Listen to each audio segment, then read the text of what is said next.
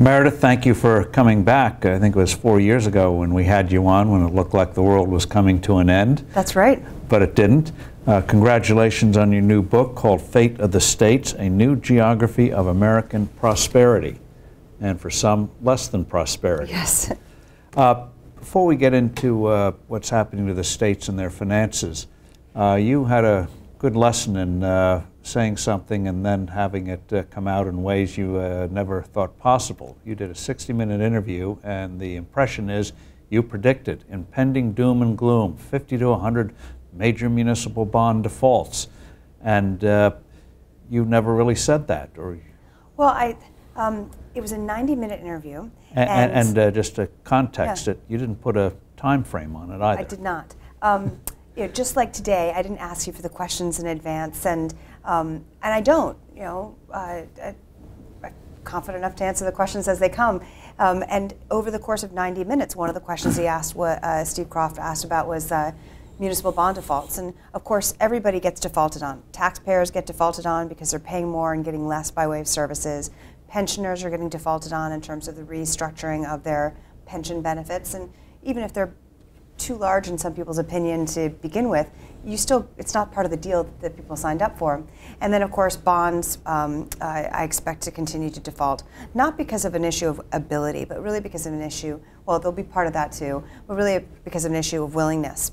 And um, in the larger context, I gave a rough you know, description of how large I think the issue is going to be, and somehow it got contorted into um, when I said people will start to worry about it in 12 months, that I somehow was misquoted that I said it would happen within 12 months. And the point of the 12 months issue was when the federal stimulus rolled off in June of, um, of 011, um, that's when states really got into trouble. So that's when the rubber really met the road. And um, you know, so many states had used the stimulus money not to invest in critical issues like infrastructure or create jobs. They used it to pad budgets. That didn't make much sense. So 37% of the stimulus money was used just to pad budgets.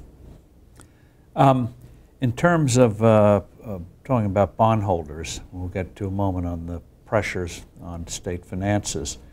Uh, in the real world, bondholders, uh, I should say on paper, bondholders are supposed to be first.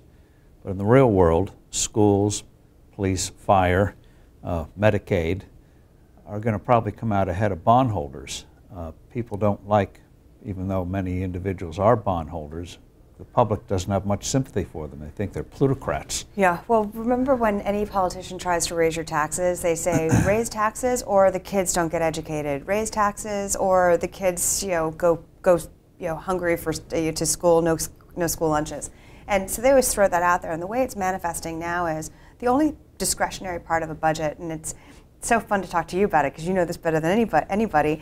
Only discretionary part of state budgets are the things that should never be discretionary. So they're qualified as discretionary spend, education, infrastructure, public safety, um, and those are the areas that are getting cut because they can. Constitutionally, there's no legal claim against the tax dollars. Although when you pay taxes, you think you're paying for services, when in fact you're now paying more and more for people's pensions and uh, bond obligations. And I think that that hits a nerve when people say enough's enough. The bondholder is not more worthy to dollars than my child's right to a, you know, a reasonable amount of students to teacher ratio or my, my wife's right to walk safely down the streets at night um, or have pensioners um, original agreement is no more valid than you know, the right to drive on a safe road. California uh, last year passed a huge tax increase. The uh, was sold on the school kids would suffer. Right. How much of that went to schools, classroom instruction? How much to uh, pension funds? Well, California has a big problem. A lot of that went to, to pension funds, and it's um, again, it's always they grab you with the you know they grab your wallet, but with the uh, with the, uh, the the tears, right? So um, uh, with the sob stories. What's interesting about California as bad as things have gotten, you know, so many of us look to California as the beacon of public education, and because California's budget has gotten so out of whack, California has had to cut the most from its education budget, and in the last seven years, the cost of four-year tuition in California has doubled. Right, so it's becoming increasingly unaffordable to go to school, and that's because, just as you said, money's going to pay for pensions, money's going to pay for bonds, and money's not going to critical issues like education. Because if you don't educate, you can't attract jobs. So uh, let's discuss the theme of your book, Fate of the States. What I wanted to do um, was bring this subject to Main Street, bring it to life on a Main Street basis, because as you know, smart money always moves first, and smart money is always considered the hedge funds, the mutual fund managers, and they're already voting with their feet corporations, also smart money, are already voting with their feet. So they're choosing, instead of being in California, to build businesses in Texas, in Louisiana, where they're going to be near not just cheap energy, but it, you know, right to work states, so they can choose what they want to do with their employees and have more discretion in terms of what to do with their workforce. Um, they're also choosing low tax, tax jurisdictions. So to mention California, not only raising tax rates, but making them retroactive, you have to think about what is the ultimate quality of life differential? Do I really want to drive down the Pacific Highway every day? Is it worth twice that cost to live in Texas and Austin and, um, and Wyoming? Um, how much is, are things really worth? So, how much is the discrepancy really worth? And again, smart money knows that. Main Street has to open their eyes to this because it affects everybody on a real personal level. So when you um, live in a state that is raising taxes, the jobs leave. You're supporting more people who need public assistance. So your tax dollars um, go less away from social services necessarily that you want in terms of uh, safe safe streets, um, you know, updated roads, and go to areas where you know that are just unsustainable over the long term. And so I, I, I think that decisions that every college kid makes, every mother, single mother makes, where are the jobs going to come from? And this is a uh, this is a uh, sort of the next super cycle, I think, in much ways that the uh, the housing boom and the Sun Belt was a super cycle. I think this demographic shift is very much a super cycle. And I wanted Main Street and the middle class actually to be aware of it so they could prepare better and, uh, and, and benefit from the great things that are happening in the country.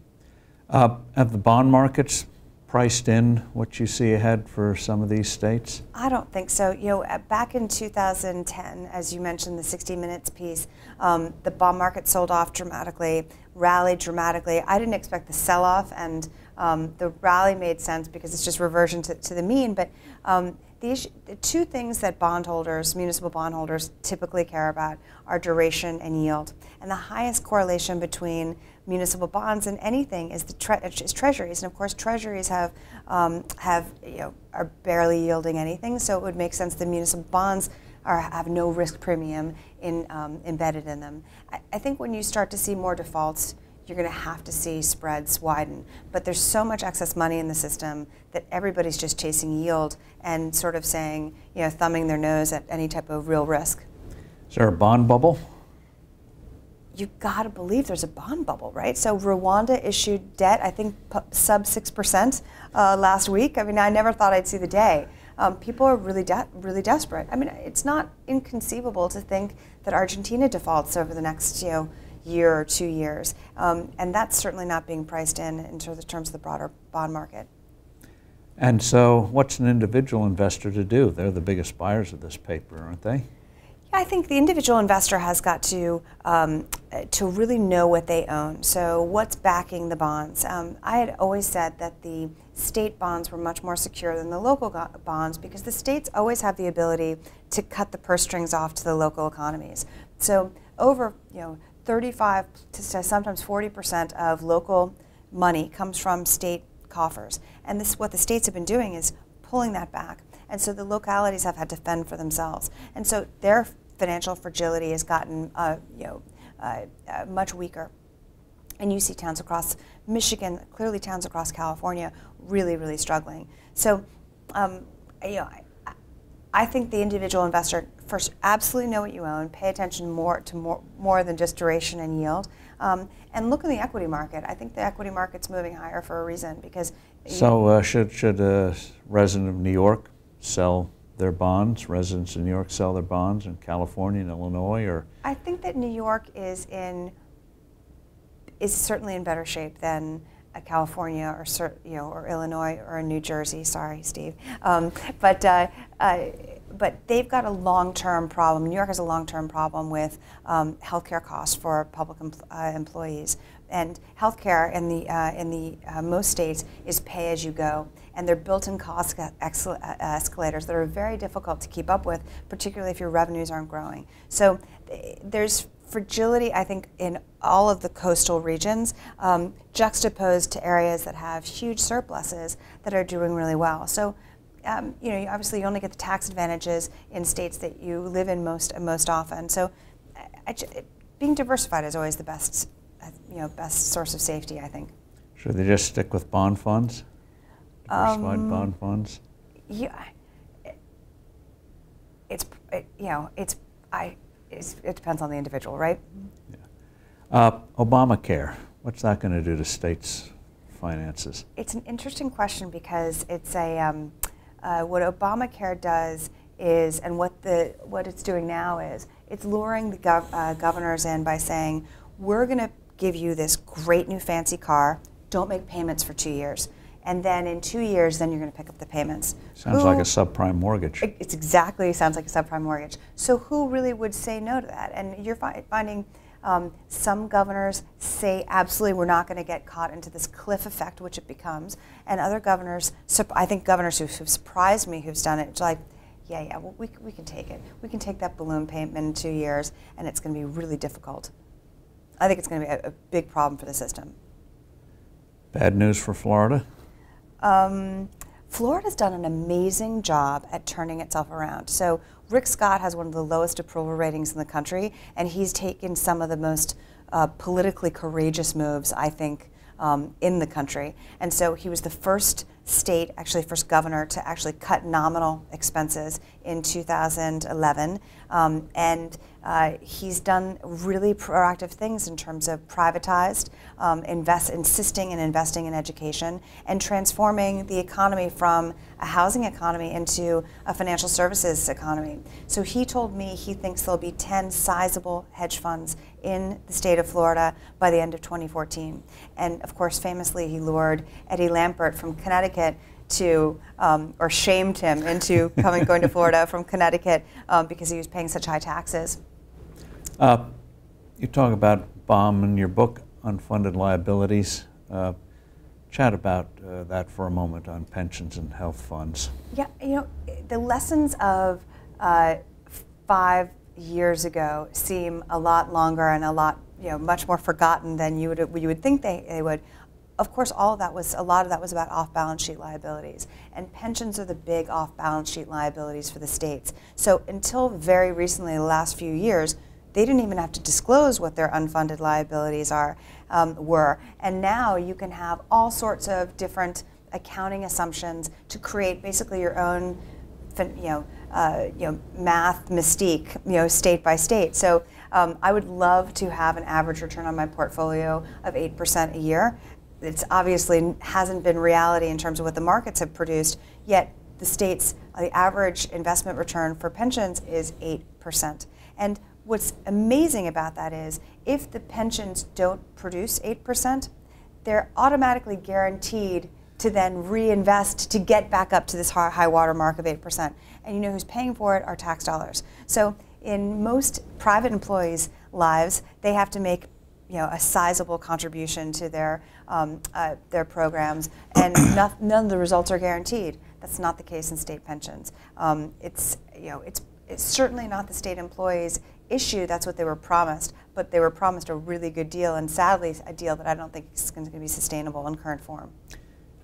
Transparency, gap, GS, GASB. It's terrible. It's so bad. Um, it's not only that the numbers are so dated; it's that there's it's the data is really hard to find. Um, it is you know it's nothing's apples to apples. Uh, as I said, everyone's using different account, accounting standards. It's the worst I've ever seen. It's, a, it's amazing to me, and, and most people are like, their eyes glaze over when you talk about state financing, but it actually affects everybody in a, pers- a real personal way. So if your library closes because the state runs out of money or your locality runs out of money, that affects you in a really personal way. If your park closes or your park is unsafe all of a sudden. It affects you in a very major way. And how quickly your fire truck comes to, um, you know, your famous, uh, your hometown fire department. I love the, uh, what is it, the lobster uh, event they have every summer right. at the firehouse. Um, you know, if they're under duress, you know, in, in, in towns in California, it's 30, 40 minute response time.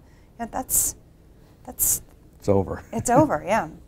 Talking about transparency, what was it, Costa Contra revealed the salaries or pensions of uh, their firefighters.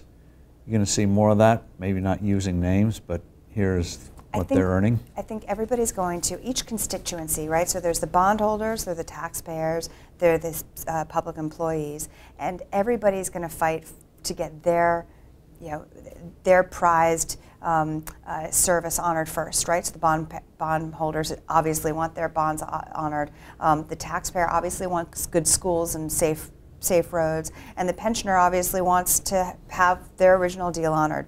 And what's happening is they're all starting to work against each other and vie against each other. So you really see uh, social unrest that we haven't seen before, pitting neighbor against neighbor in ways that, again, we have not seen before, which um, is uh, clearly disruptive. And what you referenced in terms of um, the, uh, uh, the instance where firefighters' um, names were published and the dollar amount of their pension was also published, and so much so that they were in a, uh, they were in a bar and someone said, you know, get Gary to buy my beer with his pension.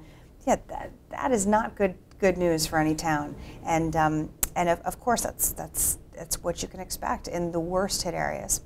You know, the, the worst hit areas get so much worse because the rich people leave, leaving behind a weaker tax base, leaving behind a need to cut further, to raise taxes more, and then you get structural unemployment, which you have in so many of these areas, um, spiking poverty rates. The highest growth in poverty occurred over the last couple of years in the areas in the states that were the richest and um, the most tied to real estate California, Arizona, Nevada, and Florida. Who would have thought?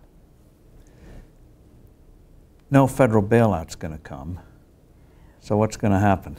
Um, it'll be interesting. I think up until very recently, um, some big investors thought there would be a big federal bailout for a state like California.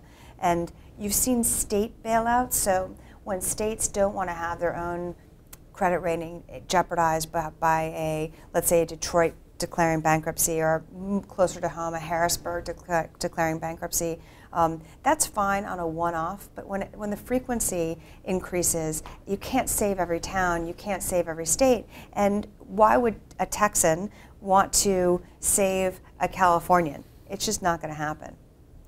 Now, uh, hope uh, in terms of reform? We saw what happened in Wisconsin, uh, New Jersey. Uh, they have to pay now more, the uh, state workers, for the pensions and health care. Michigan became right to work. Who, who, who would have thought of that too, Kansas right? made uh, pension reforms. Utah made pension yep. reforms. Uh, is this something that's going to correct itself? I think you have to get, you have to see, um, you have to see something really scary for people then to enact reforms. So a great example is what happened in Central Falls, Rhode Island, where people saw that the deal on the table was so much better than the deal that ultimately was reached through bankruptcy that they were much quicker to agree to terms offered to them. And that's happening in throughout California, that's happening in the states that you mentioned, but there's got to be some type of scary ad reel that's played for people to understand the consequences of not making the decision to um, to agree at first is it a local municipality or county going broke that focuses people's minds? Yeah, so if a, if a county goes bankrupt, then all of the obligations are reconstructed. And that what pensioners got in Central Falls, as an example, versus what they would have gotten by, um, uh, you know, by making concessions was such a worse deal. And um, I think that that really accelerated um, much more agreement, much more, uh, you know, stuff being on the table. Uh, but you know, everyone thinks that they can play this game of chicken with negotiation, and it doesn't. It doesn't happen. It doesn't work out. What what reforms work best? Is it uh, doing what states like Kansas is doing, lowering tax rates? Are there possibilities in infrastructure of more public-private partnerships that you've seen? Schools, charter schools, and has any state forced new workers to have a 401k, so what you get is what you in effect uh, kill, so we're to gonna, speak. Yeah, we're going to have to get to that point. Um, I think that you've seen great moves um, with great political courage in different states. No state, other than I would say Indiana, has, is a terrific example for a state that really turned itself around. And you had a governor, Governor Daniels in Indiana, who just said, these are the political costs, we've got to take them, and he transformed that state. So it's exciting to, through this whole journey of looking at states and how bad some states were and how good other states were, it was great to look at the example of Indiana that adopted everything. So raised the retirement age, all the while um, uh, keeping a firm commitment in terms of investing in the sustainability of the state. So when you look at a state to invest in or build a new um, you know, a, a, new you know, part of the Forbes empire and You want to know that the roads are going to be well maintained. You want to know there are going to be good schools for your employees, kids to go to. And you want to know that workers can transport throughout the state and get to work on time. And um, Indiana did, did all that. It also privatized, it's a really, right. it's an interesting story. They privatized the Indiana Toll Road and leave it to Mitch Daniels, bested Macquarie and Morgan Stanley. So people are, a lot of politicians are against privatization. Follow Mitch Daniels' lead, and you'll see how they got four billion, close to four billion dollars, to reinvest in paying down debt, investing in education. He was committed. Mitch Daniels was committed to not using that money to pay for ordinary expenses, but actually using it towards a program that had a higher return on investment than, in fact, the Indiana Toll Road did. I hope that more people take his lead. Um, you've had, you know. Um, uh, some efforts in Ohio, some efforts in Florida. You know, just a disaster of a failure of trying to privatize assets in California that needs to privatize the most. Um, but it's an option that has to be on the table. Do you think California and Illinois will go broke, or will they uh, finally wake up as some of the other states have done? If they go broke, it's going to take a really, really long time. Um, what's interesting about uh, all of this analysis is the states that are in the worst situation have the least political will and the most bogged up political processes. So, you know, it's basically, you know, uh, you know vote by referendum in California, the most dysfunctional political environment in the country. And like, it's a it's a rich state. They've got plenty of stuff to sell. It just is going to get weaker um, by the year, short of some incredible unforeseen event that's a big boom for the for the, for the state. But it, they'll they'll start having to sell down assets. I don't know who's going to vote for that. Um, you know, a lot of people that um, it's amazing that they passed not only a big tax increase on people who make $250,000 or more, but also made it retroactive. I've never seen that before. It's amazing. Yeah. Although Bill Clinton did that to us in the early 90s before you were born. Was it, of course, thank you. Um, was it retroactive? Yeah. Good grief. Yeah, August of 93, I think. Uh, talking about unfunded liabilities, what roughly is the size?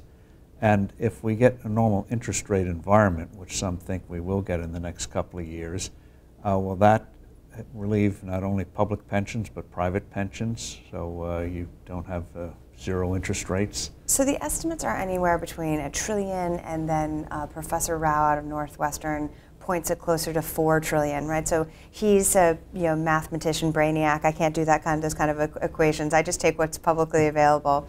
You know it's bad, and what's interesting, it's certainly going to be more than well more than a trillion dollars when um, GASB changes the rules to make it more apples to apples, and that'll be next year. So. I, you let's say split the difference. The numbers are terrible.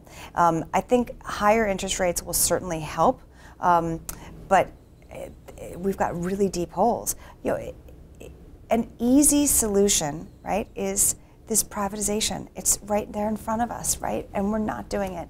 Europe did that in um, in early 90s. So when the European um, uh, countries wanted to qualify for the euro, they had to lower their debt to GDP, and they did so by privatizing telecom and airports and roadways and. Um, uh, so, know, what generically could states uh, privatize?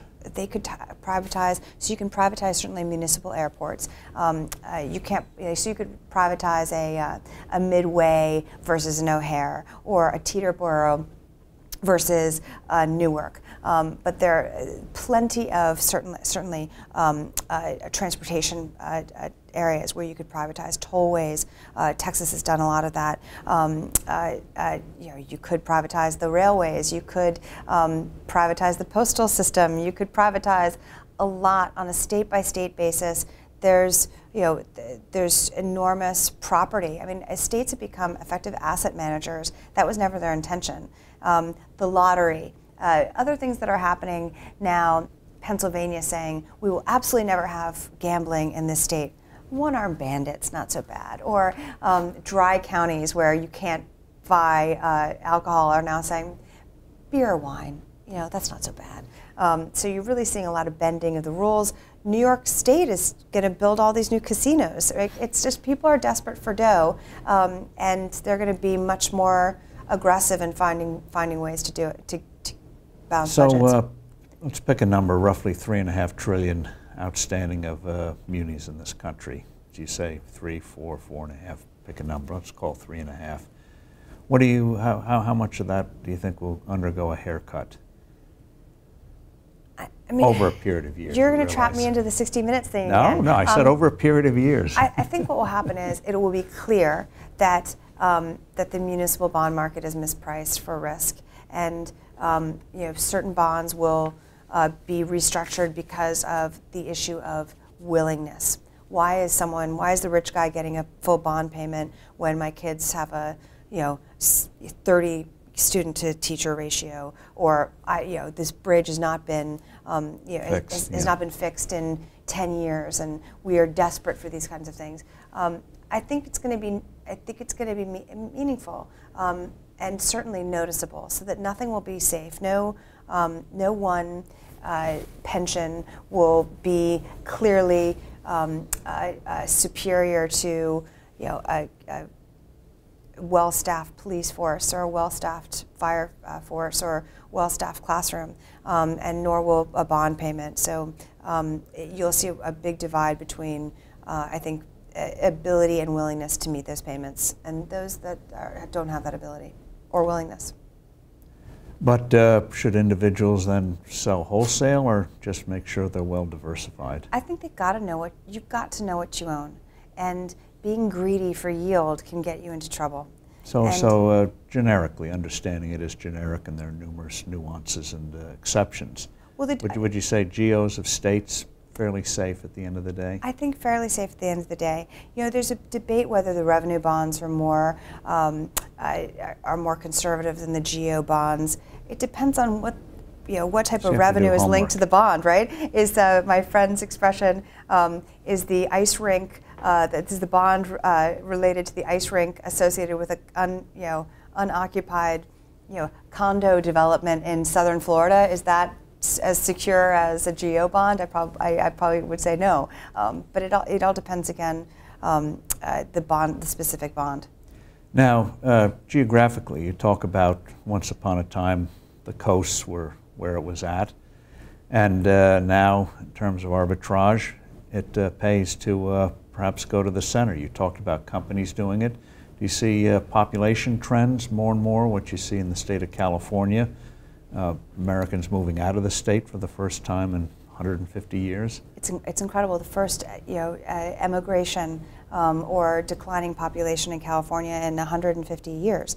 Um, what you see is um, high structural unemployment in states like California and, um, and uh, and, and, the, and the stalwarts of the last economy, and like half the unemployment rates in the central corridor. So people will ultimately move where the jobs are, and cor corporations clearly are moving to cheap energy and lower taxes. I mean, that's just an absolute, um, uh, that's just an absolute fact. And what's interesting is I think you're seeing a re-onshoring of American manufacturing. So there's so many great silver linings to this story, and I, you know, again, focus on the good things. Um, the smart people, uh, you know, and the people who move first are going to catch this wave early. And by doing so, not only will they have more discretionary spend by paying lower taxes and being employed, but you're also going to see another big, I think, a big housing move in the Central Corridor. So there's just not enough infrastructure, housing, uh, shopping, logistics to support what I think is going to be a major demographic shift in the country over the next 30 years. So California out, New York out, New Jersey out, but uh, Ohio, Kentucky, Indiana, Louis- Wisconsin, It's Lu- amazing. Louisiana. You can we all know about Texas, but these states are going to have their day in the sun, so to speak. Texas, uh, you know, I, I always say Houston's like the holy grail of the U.S. economy. So they're expecting the population to just explode over the next 10 years.